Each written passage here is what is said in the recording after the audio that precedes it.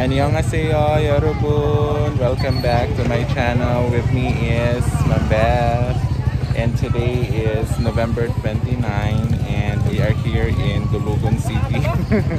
Dulugun City. Yes, it's Sevi's birthday. Happy birthday, Sevi.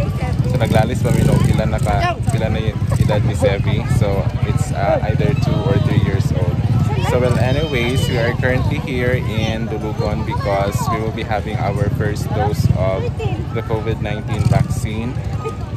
Yes, wala siya. Naon sa mga makaingon ng bed sa kadagdag tao. Good luck na Good luck na lang.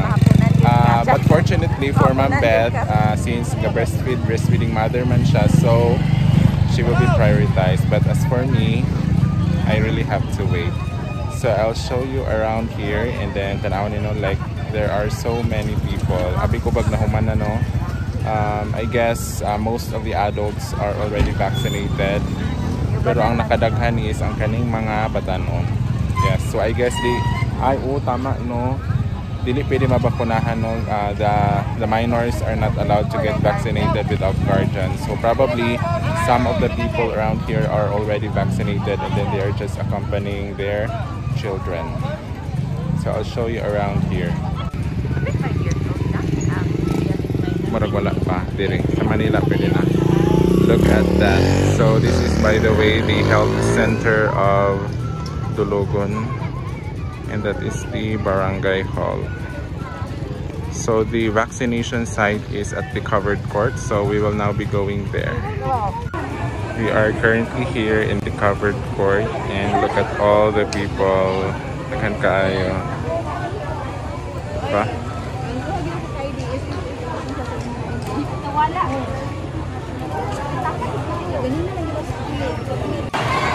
Baan na, nagkagubot na. Wala rin siya do. Wala yung mga kadramahan na niya. Nagtapok-tapok na noon.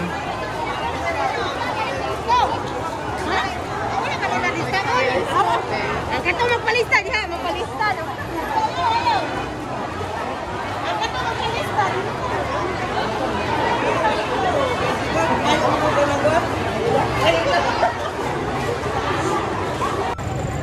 And we are still here. Uh, time check is already 8.27. Unfortunately, wala po nagsugod no. Uh, But I guess, abot na ang vaccines. Yes, and then hopefully anytime now, hopefully before 9 a.m. sugod na. And then nagsugod naglinya ang mga tao. Like there are a lot of people here, like oh my god. Yes, so swerte mi if mahuman mi karong buntag. Si Ma'am Beth, ah, mahuman man siya because priority man siya. Pero ako ani murag mahapunan jud to. So I'll be back if magsugod na siya. Time check, it's 10.30. Dagan kay tao, no?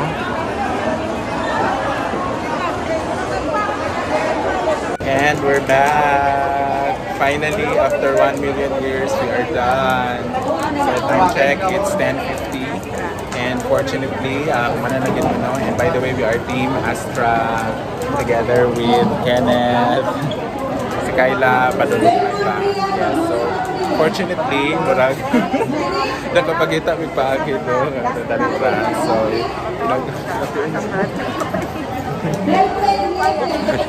So, ako ka rin. Hindi ka ganyan na siya. Tapos ko siya mask. Tapos. Yes, and we are done. So we are now, now ano, officially vaccinated. And uh, atong next dose is January 10. uh, the in charge said that our next dose is January 10. So hopefully, abi na ko January, December 29. So, pero national vaccination day na gyapon no. Eh? Oh. So, if magpa-second dose sa ato, kita marama. Wala man diri.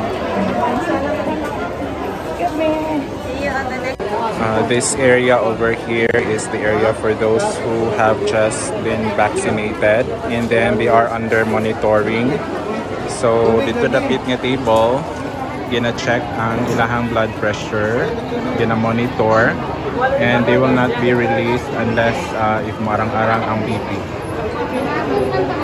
Okay, so this is the situation here. Kana sila, they are still waiting for their slot. After there, dili din ang next sa encoding. Dito dayon.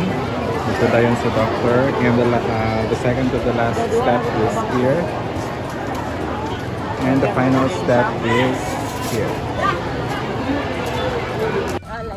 And finally, after 1 million years, you're done!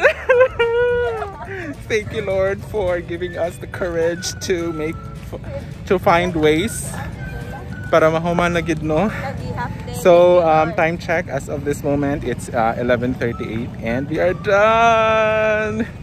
Salamat kaayo, Kyla, no? So, I acted as a guardian of Kyla. That is why naka-insert na ko. yes. And we are now going home. Thank you so much for watching. Annyeong! Bye!